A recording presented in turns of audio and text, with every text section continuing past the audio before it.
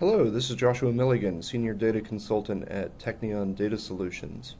Today we're going to take a look at the data preparation feature that's new in Tableau 9.0, which is currently in beta but soon to be released.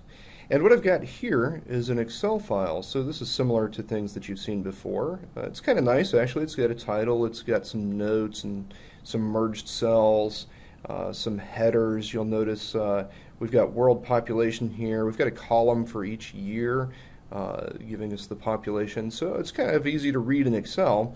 But if I take this into Tableau, at least in previous versions, I would have a little bit of difficulty.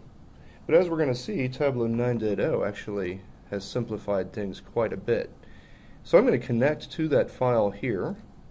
Connect to an Excel file, find it, and open it up. And you'll see that initially, uh, Tableau it can't find the header, so it's giving us some defaults here.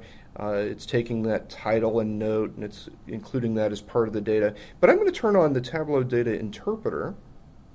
And when I do that, now Tableau gets rid of all of those excess headers. It figures out merged cells and, and uh, cleans up the data. If I want to review the results, I can click here and see how it, uh, how it came up with, with the things it did.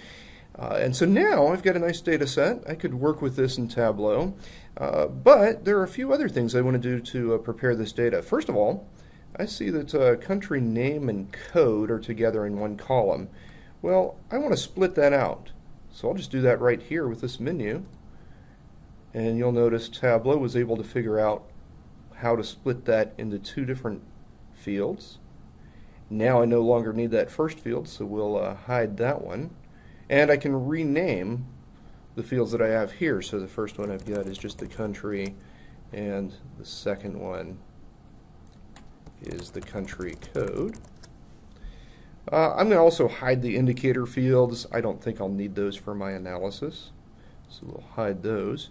And now I have all of these year columns, and, and it's storing the population by year, but it's doing it in columns. So that gives us what we call wide data.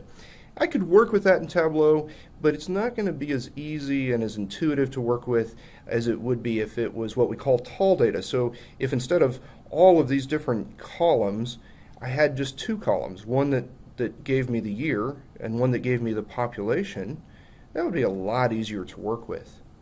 And so here in Tableau, what I'll do is I'll just select all of the columns. You'll see I have a lot of columns, very wide data.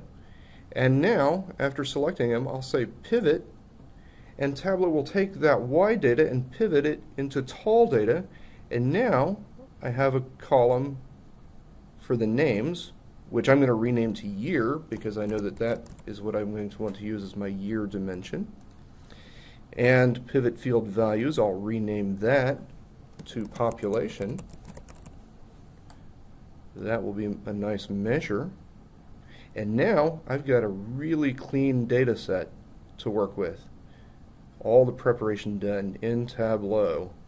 I go to sheet one and now I'm ready to go.